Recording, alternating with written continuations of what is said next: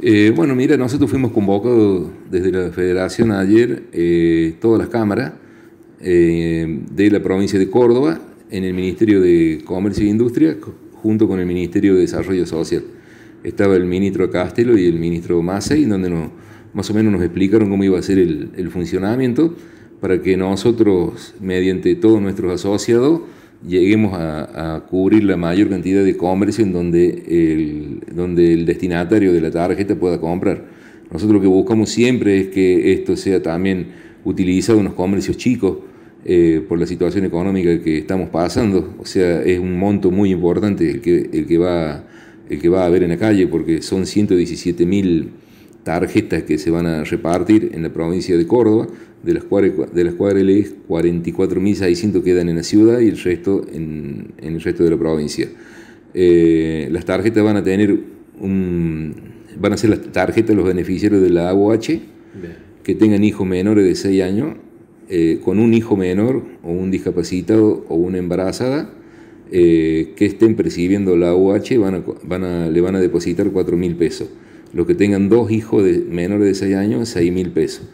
Eh, se superpone con cualquier otro plan, o sea, no es que dejen de cobrar otro plan, es, un dinero muy importante que va a significar aproximadamente 600 millones de pesos al mes que va a circular en la ciudad, en la provincia de Córdoba.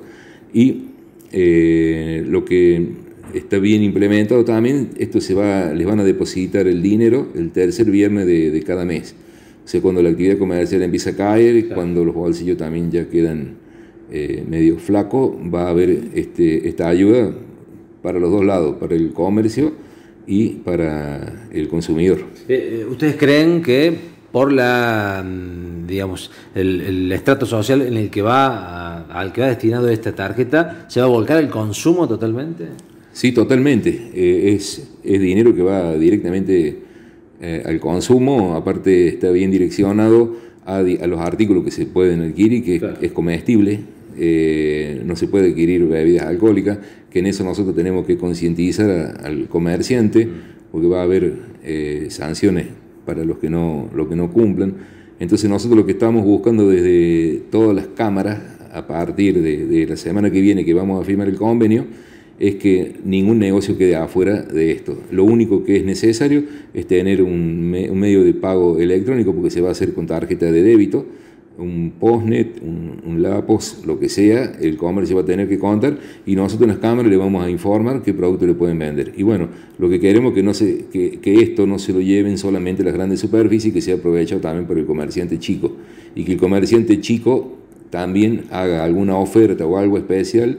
eh, que vaya direccionado a este público para también atraer el público en su barrio, en su lugar,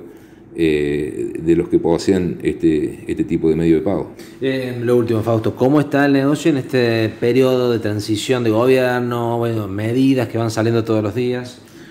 Bueno, mira, desde mediados de diciembre para acá ha mejorado un, un poco, no, no, no te digo que estamos en una óptima, pero bueno, hay muchos rubros que se han recuperado un poquito. Eh, esperamos ahora que con todas estas medidas empiecen a venir los aumentos de sueldo, ¿eh? porque los sueldos han quedado muy deprimidos. Lamentablemente hemos tenido una inflación muy alta, los sueldos no, no han acompañado y es lo que hace falta siempre que eh, el sueldo esté acorde a, a los aumentos que hayan tenido en, en la inflación. Entonces ahora hay un desfasaje de un 20%, un 25%, que eso nos va a costar probablemente todo el año recuperar. Y esperemos que, bueno, que vayan acertando las medidas y que podamos eh, nosotros también eh, eh,